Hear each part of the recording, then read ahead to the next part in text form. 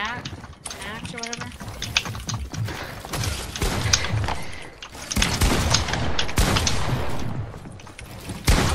Oh, why the fuck you put me on the other side? Bro, who's fucking controlling keyboard? Nobody wants to say hear that shit and fucking heavy breathing. Like, these kids are so annoying. They spray with their SMG and then they think they're good, bro. Holy shit, you're so good, bro.